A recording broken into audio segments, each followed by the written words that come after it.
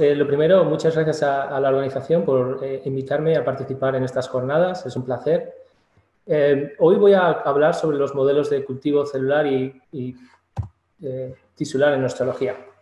Lo primero, indicar que no tengo ningún conflicto financiero o de interés con los materiales que voy a presentar en esta charla. Comentaros eh, brevemente que sobre lo que voy a hablar durante estos 40 minutos. Eh, haré una introducción sobre, muy general sobre la biología ósea y los diferentes tipos de células eh, del hueso. Luego me centraré en el cultivo in vitro de células óseas primarias en líneas celulares. Principalmente hablaré de osteoblastos y osteocitos, que son las células que más nos interesan en el laboratorio. Y en esta charla no voy a mencionar ningún tipo de cultivo celular con, con adipocitos o osteoclastos. Y finalmente, la última parte me centraré en el uso de cultivos de tejido óseo ex vivo para el estudio del hueso. Como todos eh, sois muy eh, familias con, los diferentes tipos de, células en el hueso, tenemos los osteoblastos de linaje mesenquimal, que son, eh, componen sobre el 4 y el 6% de las células que se encuentran en el hueso. Los osteoclastos, que son células de linaje hematopoyético, son las células que resuelven el hueso y forman eh, alrededor del 1 y 2% de las células que se pueden encontrar en el hueso. Y finalmente tenemos los osteocitos, que componen aproximadamente el 90 o 95% de las células eh, que se encuentran en el hueso. Estas células actúan de forma coordinada para llevar a cabo el remodelado óseo. Eh, de, nuevo, sois, estáis, ya conocéis este proceso de remodelado óseo eh, se cree que son los osteocitos los que inician el proceso de remodelado, eh, se mueren por apoptosis y identifican las zonas que necesitan ser reparadas en el hueso. La muerte de los osteocitos eh, recluta a osteoclastos o precursores de osteoclastos, que son las células que van a encargarse de, eliminar el hueso en la zona que se va a reparar. Una vez que los osteoclastos resuelven el hueso, va a comenzar una fase en la que se reclutan los osteoblastos, que por su parte van a formar nuevo hueso y algunos de ellos van a, quedar eh, en, el, mineral, en el hueso mineral, como osteocitos. Una vez que los osteoblastos han formado el hueso, eh, esta zona se queda como quiescente y volvería otra vez a, las células que se quedan en la superficie serían eh, células lining cells. Y este proceso es, como comentaba anteriormente, ocurre de forma coordinada, de tal forma que los osteoclastos resuelven una cantidad de hueso igual a la que los osteoblastos van a formar. Y si hay algún tipo de, modificación en la actividad de los osteoclastos o de los osteoblastos, vamos a tener ganancias o pérdidas de hueso. Eh, como comentaba en la introducción, nuestro laboratorio está muy interesado en, la biología del osteocito.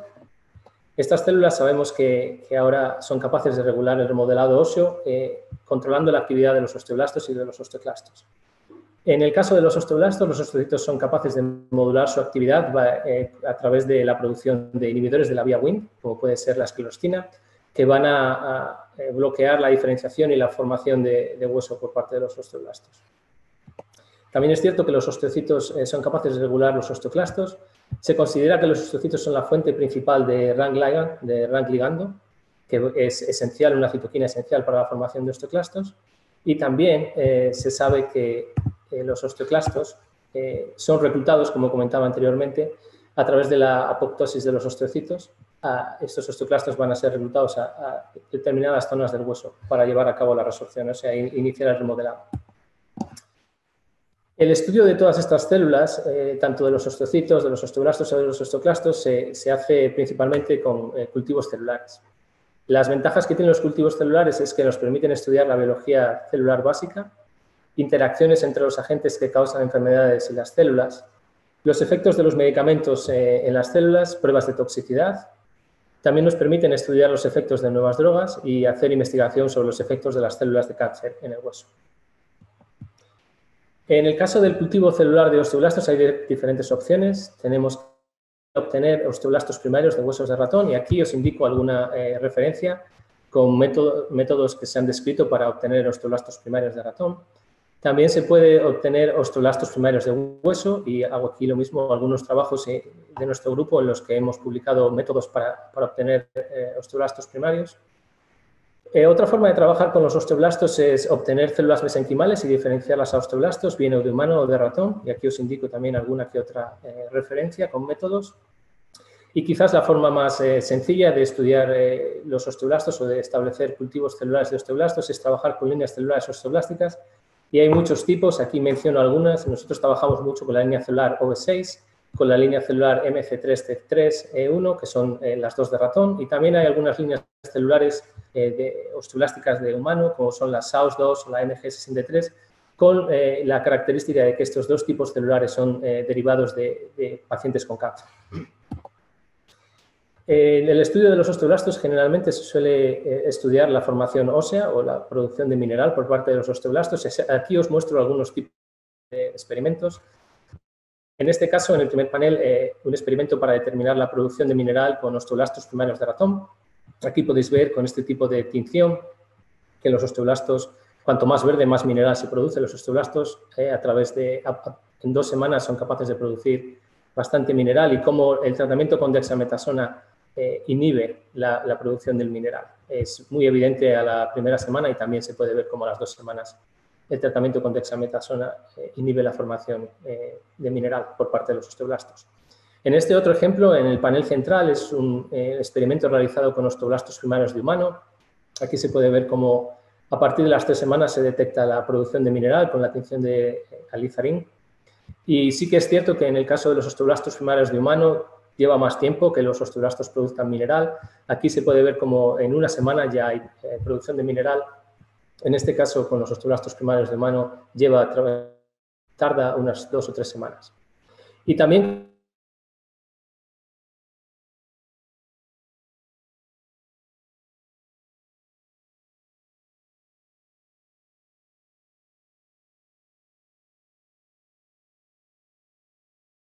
se puede trabajar con células mesenquimales y también se puede hacer eh, transducción eh, para hacer interferencias genéticas. En este caso utilizamos un eh, vector que inhibía la producción de CEJUN y lo que se puede ver es cómo esa interferencia genética nos permite estudiar el efecto de ese gen en particular en la producción de mineral por parte de, los osteoblastos, o en este caso células mesenquimales. además de estudiar y la mineralización de osteoblastos, se puede estudiar también la expresión génica y eh, los efectos de diferentes fármacos en viabilidad y muerte celular. El caso de los osteocitos, como en esta imagen que veis aquí, es una imagen de electroscopía eh, en la que se puede ver cómo eh, después de eliminar el, el, componente mineral, los osteocitos quedan expuestos y se puede ver cómo hay eh, cientos de eh, procesos dendríticos que emanan de cada eh, cuerpo del osteocito y los conectan con otros osteocitos ah, que están alrededor, así como también con las células que se encuentran en la médula ósea, que en esta imagen se encuentran en la parte superior. Este tipo de, procesos dendríticos y estas conexiones son muy difíciles de, replicar en, cultivos celulares. sí, que, sí que es cierto que hay diferentes eh, diferentes tipos celulares con los que se puede estudiar eh, la biología de los osteocitos en, cultivos eh, celulares. Hay varias líneas celulares como la MLO-A5 y la MLO-Y4. En el caso de la A5 se considera que este tipo de, líneas celulares osteoblasto o preosteocito y sí que es cierto que expresa marcadores característicos de, de los osteocitos como puede ser la esclerostina. En el caso de la Y4 se consideran osteocitos maduros, pero lo curioso es que estas células no producen todos los eh, genes típicos de osteocitos. En, eh, este caso, eh, como indico en la diapositiva, no producen la esclerostina, que es un marcador típico de osteocitos. Más recientemente se han generado otras líneas celulares, todas estas son de ratón. En este caso tenemos la IDG-SW3, también del laboratorio de la doctora Linda Bongwall, como las dos anteriores, eh, se considera que estas células eh, son una línea celular de transición de osteoblasto a osteocito que presentan más características de osteoblasto que de osteocito. Se suelen cultivar a 33 grados y se pueden diferenciar a osteocitos a 37 grados añadiendo los eh, componentes típicos del medio osteogénico. Esta línea celular, la OMGFP66, también del laboratorio de, de Linda Bongwall, también se considera como una transición de osteoblasto a osteocito y lo que sí que es eh, cierto que esta, eh, esta línea celular se, se caracteriza por tener una diferenciación tridimensional que emula el espacio canalicular en el que los osteocitos se encuentran de manera fisiológica. También hay esta última línea celular, la OCY454, que se considera, al igual que las otras dos anteriores, también una transición de osteoblasto a osteocito y son cultivadas a 33 grados y se diferencian a osteocitos a 37 grados. Todas estas son líneas celulares derivadas de ratón. Hay una línea celular que es una transición a osteoblasto osteocito humano, que es la HOB 01C1. En el caso de los estudios con líneas celulares osteocíticas, en, concreto en nuestro laboratorio, hemos conseguido eh, emular resultados que se encuentran en, modelos eh, animales.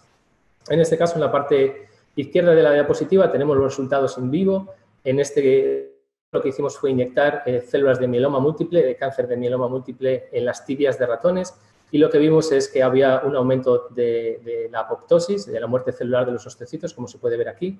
Estos son los huesos que estaban infiltrados con células de cáncer y también había un aumento de la producción de la esclerostina. Y en esta parte es eh, los resultados que hicimos eh, con cultivos celulares in vitro. En este caso utilizamos la línea celular MLOA5 y aquí se puede ver cómo hay un aumento de la muerte celular eh, en cultivos, cocultivos con células de, de, mieloma, con efectos similares a los que encontramos en los modelos animales y también encontramos que en estas células había una estimulación de la producción de, de SOST, como ocurría en los modelos animales, sugiriendo que estas células se pueden utilizar también para el estudio de, eh, la biología de los osteocitos en cultivos celulares. También se puede trabajar con eh, cultivos de celulares de osteocitos primarios, pero sí que es cierto que estos cultivos de osteocitos primarios son mucho más complicados y los osteocitos tienden a desdiferenciarse a osteoblastos rápidamente. Eh, hay varios métodos para, obtener osteocitos, osteocitos primarios. Tenemos eh, métodos con un proceso de digestiones con colagenasa que lo que hacen es eliminar diferentes tipos celulares, incluyendo osteoblastos y células de la médula ósea, y nos permiten, sobre todo en las digestiones últimas, nos permiten obtener osteocitos, primarios. Y el que, el que, más hemos utilizado en el laboratorio es un proceso en el que hacemos citometría de flujo para obtener células obtenidas de ratones DMP1 GFP. En este caso, estos ratones eh, tienen la expresión de la eh, proteína de la GFP, de la Green Fluorescent Protein, a través del promotor eh, de DMP1, que es específicamente expresado en osteocitos. Y aquí se pueden ver imágenes como los osteocitos se encuentran verdes, en este caso en, hueso trabecular, y aquí lo podéis ver en el hueso cortical. Como solo los osteocitos son las células que se encuentran, que se pueden aislar a través de citometría de flujo para GFP. Y aquí os muestro un ejemplo eh, eh, utilizando estas células eh, positivas para GFP, en el que utilizamos la PTH, el tratamiento con PTH, que como bien sabéis estimula la producción de RANG ligando. Y aquí podéis ver en cultivos celulares, estos fueron las, GFP negativas, que se consideran osteoblastos, y aquí tenemos las GFP positivas, como la PTH es capaz de estimular la producción de RANG ligando en cultivos celulares de osteoblastos primarios y osteocitos primarios. Eh, en este caso también estudiamos la expresión del receptor de la PTH y aquí podéis ver cómo los osteocitos primarios eh, producen más que los osteoblastos primarios. Y último, eh, el último experimento en el que también trabajamos con la PTH, que lo que hace es inhibir la producción de SOST, y como en los osteoblastos, como era de esperar, no hay producción de gen SOST, pero sí en los osteocitos primarios, y como la PTH es capaz de inhibir la producción de SOST, como era de esperar, y como se ve también en los modelos animales. Como comentaba anteriormente, sí que hay eh, limitaciones en el estudio de los osteocitos en cultivos celulares. Eh, son muy difíciles de, aislar y si no tienes estos ratones con, la GFP, mucho más difícil. Y además se diferencian muy rápido a osteoblastos in vitro. De hecho, cuando eh, utilizamos estos osteocitos primarios que son positivos para GFP, al cabo de un par de días pierden la señal para GFP y comienzan a diferenciarse para osteoblastos, hacia osteoblastos. las líneas celulares osteocíticas no reproducen por completo las características fenotípicas de los osteocitos completamente diferenciados y que no se dividen. Como indicaba anteriormente, algunas de las células no producen, por ejemplo, esclerostina y continúan dividiéndose eh, de por vida, eh, como los osteocitos eh, de forma fisiológica no se dividen. La diferenciación de osteoblastos a osteocitos in vitro lleva mucho tiempo, entre dos o tres semanas, perdón, y solo, solamente una pequeña fracción de las células se van a convertir en auténticos osteocitos. Y, la red osteocítica y las interacciones de los osteocitos que ocurren a través de estos eh, procesos dendríticos eh, son muy difíciles de, replicar in vitro. Por estas razones, lo que hicimos fue en el laboratorio iniciar el uso de cultivos de tejidos óseos ex vivo. Esto no es, no es nuevo, los cultivos de tejidos óseos comenzaron hace unos 90 años, eh, principalmente en el modelo de pollo embrionario, y aquí tenéis algunas, algunos ejemplos. Y los cultivos de tejidos óseos ex vivo en ratas y ratones comenzaron alrededor de los años 60. Sí que tienen estos cultivos algunos puntos fuertes y también tienen algunas limitaciones. En cuanto a los puntos fuertes, los osteocitos y otras células óseas de la médula ósea se colocan eh, o se disponen morfológicamente dentro de la matriz extracelular de forma normal. Es un modelo de estudio barato, eh, un modelo simple con pocas limitaciones éticas, cosas que igual es, más complicado eh, aprobar y realizar en, modelos animales. En estos modelos ex vivo se pueden realizar y además son fáciles de manipular y permiten el estudio de los parámetros de formación y resorción ósea, como os mostraré en las siguientes diapositivas. En cuanto a las limitaciones, eh, los periodos prolongados de cultivo requieren medios enriquecidos con suplementos. En nuestro caso, generalmente eh, hacemos estos cultivos sobre alrededor de 11 días. Mucho más allá de los 11 días tendríamos que añadir eh, suplementos. Hay una deficiencia de suministro de sangre, con lo cual no hay angiogénesis. Y sí que es cierto que hay una pérdida de células óseas debido a la migración hacia afuera de los huesos. En cuanto a cómo establecemos eh, los cultivos de tejidos óseos ex vivo, utilizamos los huesos de la cabeza, también utilizamos huesos largos como la tibia o el fémur, como podéis ver en estas imágenes. Y en, estos eh, trabajos, en particular en este último trabajo que hemos publicado, podéis encontrar métodos de cómo establecer estos cultivos eh, de tejidos óseos ex vivo. Lo que, como comentaba aquí, son todos los tipos de, huesos que, utilizamos. Los utilizamos de ratones inmunodeficientes, eh, y generalmente tendemos a utilizar ratones jóvenes, eh, entre 7 y 11 días. Pero sí que es cierto que hemos hecho también experimentos con ratones que, tenían un mes de edad o hasta cuatro meses de edad. En cuanto a qué, estudios podemos realizar en estos tejidos óseos ex vivo, podemos eh, realizar micro-CT, podemos realizar histología, expresión y también microscopía. Y sí que es eh, lo que podemos hacer también en el, medio en el que cultivamos estos tejidos óseos.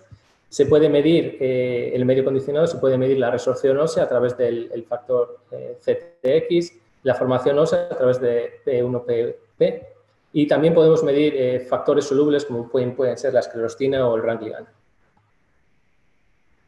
Los también tenemos algunos eh, métodos para establecer cultivos enriquecidos en osteocitos y poder eh, cultivarlos eh, ex vivo. Este es un ejemplo de cómo realizamos estos cultivos para enriquecer los huesos en osteocitos. Son digestiones seriales con colagenasa y con EDTA y lo que conseguimos al final es, una, es un hueso enriquecido en osteocitos. Como podéis ver aquí, antes de la digestión hay una expresión relativa del gen de MP1 hay una expresión de SOS y también una expresión de, de keratocan. En este caso, SOS y DMP1 son eh, genes más típicos de osteocitos, eh, mientras que el gen keratocan es más típico de osteoblastos. Después de la digestión, como podéis ver aquí, hay un incremento en la expresión de genes típicos de osteocitos, como es la DMP1 y la SOS, la esclerostina, y una disminución de genes eh, típicos de osteoblastos, consecuente con, con el enriquecimiento de osteocitos en estos tejidos óseos. Los cultivos de tejidos óseos ex vivo hemos encontrado que reproducen los resultados que, hemos encontrado en animales, eh, en modelos animales in vivo. En este caso, eh, os voy a mostrar eh, un ejemplo en el que estudiamos, en este caso era un modelo animal en el que inhibimos o, deleccionamos la, expresión del receptor de la PTH en osteocitos y como podéis ver aquí, en los animales que tenían la delección expresan menos receptor de la PTH en el modelo animal. Cuando eh, comenzamos a hacer los estudios ex vivo, es decir, eh, recogimos eh, huesos de estos animales y hicimos la digestión con colagenasa para enriquecerlos en osteocitos.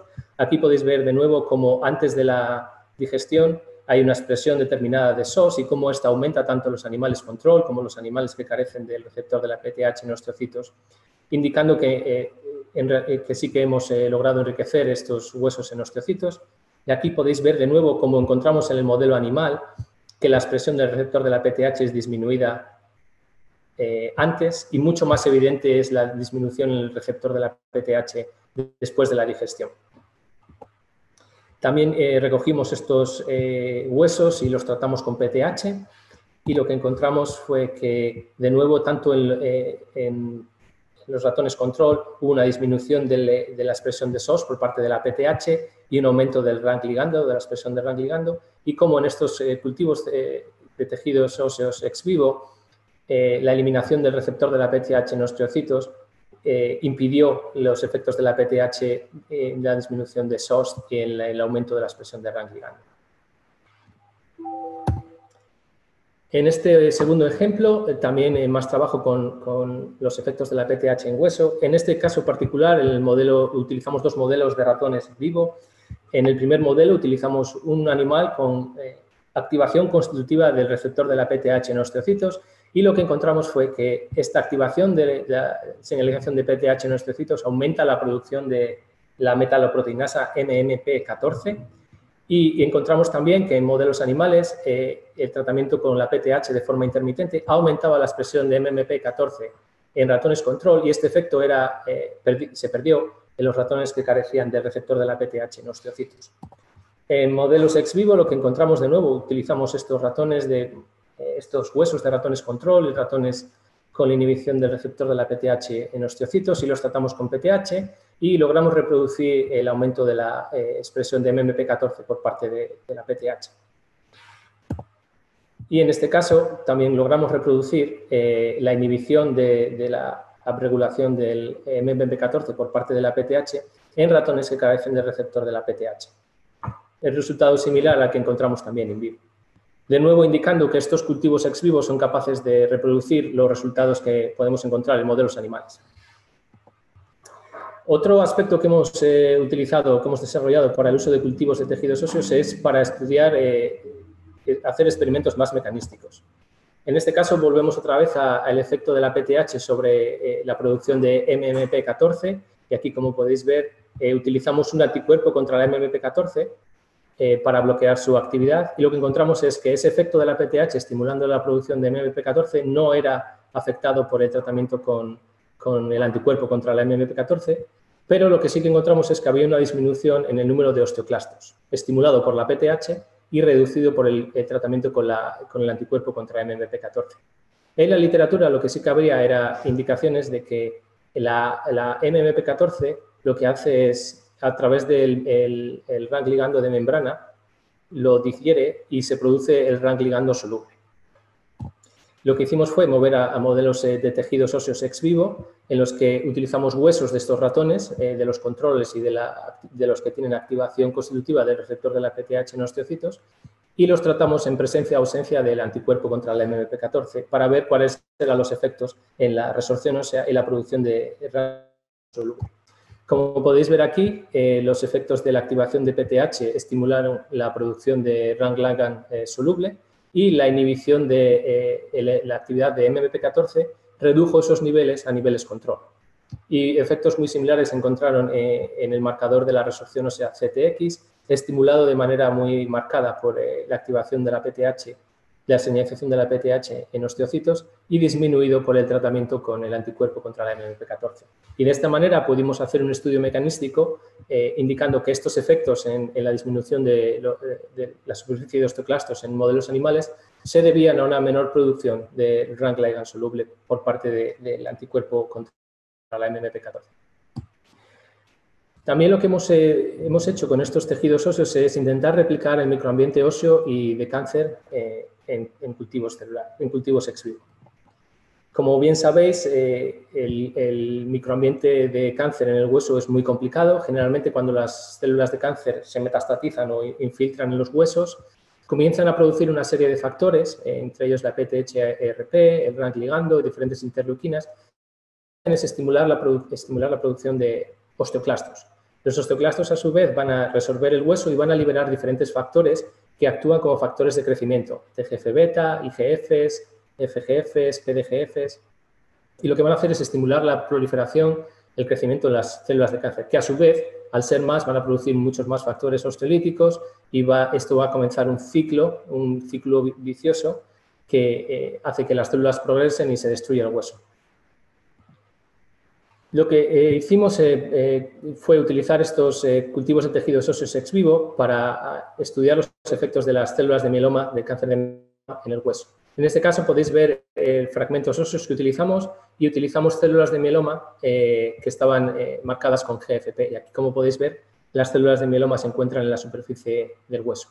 Esto sería el, plástico en el que cultivamos los, los huesos.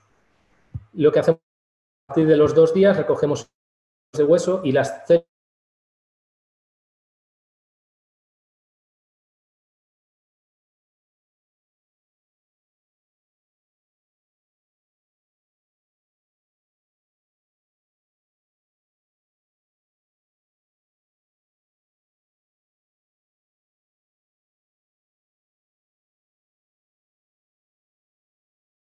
en The Trap, en la que marcan los osteoclastos, como la, infiltración de células de mieloma en el hueso aumenta la producción de, osteoclastos.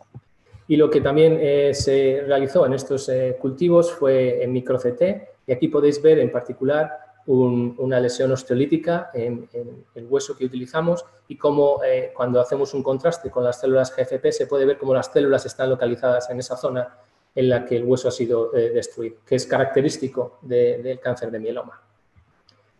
También hemos eh, utilizado estos tejidos eh, de cultivo óseo con células de mieloma para reproducir efectos que encontramos en, modelos animales. Este es el mismo ejemplo que mostré al principio de la charla, en el que cuando inyectamos las células en tibias hay un aumento de la expresión de NOTCH3 en los osteocitos que están en, los huesos en los que están infiltrados con células de mieloma y también lo encontramos a través de un Western blot, como podéis ver en estas imágenes.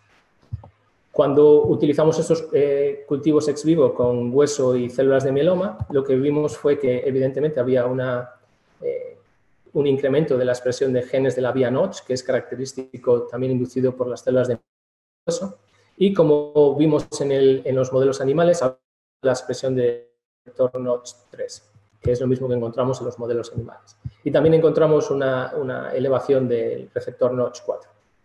De nuevo, eh, indicando que estos cultivos ex vivo son capaces de reproducir eh, resultados que hemos encontrado en modelos animales. Otro de los aspectos que hemos eh, explotado en estos cultivos celulares ex vivo es para caracterizar los efectos de diferentes drogas. En este caso es una droga que hemos diseñado en el, en el laboratorio es un inhibidor de la vía Notch que eh, está dirigido al hueso. Lo que hicimos fue utilizar un bifosfonato y utilizamos un, linker que unía el bifosfonato a, un inhibidor de la vía Notch y este linker es sensible a, bajadas de pH y a la actividad de los osteoclastos. Con lo cual, el, bifosfonato es capaz de dirigir este compuesto al, hueso, donde este, eh, este linker va a ser eh, destruido por el pH y los osteoclastos, y el inhibidor de, la vía Notch va a ser liberado, en el hueso o en la médula ósea. Eh, utilizamos modelos en vivo, ex vivo para, para estudiar si en efecto este compuesto es capaz de inhibir la vía Notch en el hueso y lo que encontramos fue que evidentemente aquí en, verde es el, inhibidor de la vía Notch dirigido al hueso, fue capaz de inhibir la expresión de genes de diana de la vía Notch al mismo nivel que eh, el mismo compuesto, pero no dirigido al hueso. Y lo que encontramos es que, evidentemente, eh, como os llevo mostrando en las diferentes diapositivas, este resultado fue también reproducido en, vivo, en, ratones en los que los tratamos con el eh, inhibidor de la vía Notch dirigido al hueso y hubo también una reducción de, genes de, la expresión de genes de la vía Notch. En este otro ejemplo también seguimos con el inhibidor de la vía Notch dirigido al hueso. Estudiamos sus efectos en el, eh, en el crecimiento tumoral y lo que encontramos fue que en, los huesos que llevaban células control, el crecimiento del tumor eh, nos dio un valor determinado de esta paraproteína que es producida por las células del tumor y que eh, sirve como un biomarcador del crecimiento tumoral. Y como cuando tratamos con el inhibidor de la vía Notch eh, dirigido al hueso, hubo una reducción del crecimiento tumoral de aproximadamente el 40%. Estos resultados nos invitaron a hacer los experimentos en, ratones, en modelos animales, con lo cual en este ejemplo hemos utilizado estos tejidos eh, óseos ex vivo de forma inversa, en los que primero eh, evaluamos los efectos de la droga en, el modelo ex vivo para informar lo que puede ocurrir en el, modelo animal. Y, como hemos visto en otros ejemplos, el modelo animal dio unos resultados muy similares a, los tejidos eh, óseos cultivados ex vivo. Aquí podéis ver Eh, de hecho, el, experimento se realizó inyectando las células en el hueso de los dos ratones, esperando tres semanas y tratando con el inhibidor de la, de la vía Notch dirigido al hueso. Y aquí, como podéis ver, también hubo una reducción de un 40% en el, tumor, tumoral, eh, en el crecimiento tumoral, un resultado similar al que encontramos en los modelos ex vivo. Y también, eh, ya por último, para acabar, mostraros alguno del, un poco del trabajo que hemos realizado con tejidos óseos como puente a estudios inhumanos. Eh, esto fue mucho del trabajo que, hice durante mi tesis en España con el doctor Riancho. Eh, teníamos una buena colaboración, colaboración con, cirugía y todos los huesos que, iban a tener un reemplazamiento de, del hueso femoral, de la cabeza del fémur, eh, por cirugía. Nos lo daban en el laboratorio y lo que hicimos fue obtener pequeños fragmentos óseos que utilizamos para diferentes formas, entre diferentes cosas, entre ellas establecer tejidos, eh, cultivos de tejidos óseos ex vivo. Y aquí tenéis algún ejemplo que es el mismo que he utilizado en ratones, pero en este caso eh, con el tratamiento de, intermitente de la PTH, como aumenta también la expresión de la eh, metaloproteinasa 14 y como el tratamiento con el anticuerpo reduce la producción del eh, RANG ligand soluble en este modelo animal. Y lo que hicimos fue establecer cultivos eh, de tejidos óseos ex vivo con, hueso humano y lo tratamos en ausencia-presencia de PTH y en ausencia-presencia de tratamiento eh, del anticuerpo contra la MMP14. Y lo que encontramos fue que también en huesos humanos la PTH aumenta la, producción de la metaloproteinasa 14 y también, como puedes ver en esta figura, disminuye la producción del RANG ligand eh, soluble. Este es un buen ejemplo de cómo estos eh, tejidos óseos eh, humanos se pueden utilizar ex vivo para validar estos resultados que obtenemos en ratones. Y para terminar, daros algunas conclusiones. Los cultivos de tejidos óseos conservan las interacciones entre los osteocitos incrustados en la matriz y otras células óseas en su entorno tridimensional natural. Los cultivos de tejidos óseos enriquecidos son una herramienta poderosa para estudiar la biología de los osteocitos en un microambiente que se acerca al estado eh, in vivo. Los cultivos de tejidos óseos ex vivo reproducen fielmente los resultados in vivo y por lo tanto sirven como modelo de transición a los estudios in vivo. Y los cultivos de tejidos eh, ex vivo permiten la validación de resultados obtenidos en ratones, en hueso humano y favorecen la investigación translacional. Y con esto agradecer a todas las fuentes de financiación que hacen posible todo este trabajo en nuestro laboratorio. Y agradecer a los miembros de mi laboratorio, colaboradores de con los que trabajo de forma eh, habitual, como la doctora Teresita Belido y el doctor Rudman en la Universidad de Indiana, y diferentes colaboradores que tenemos eh, con diferentes eh, empresas farmacéuticas que, que nos permiten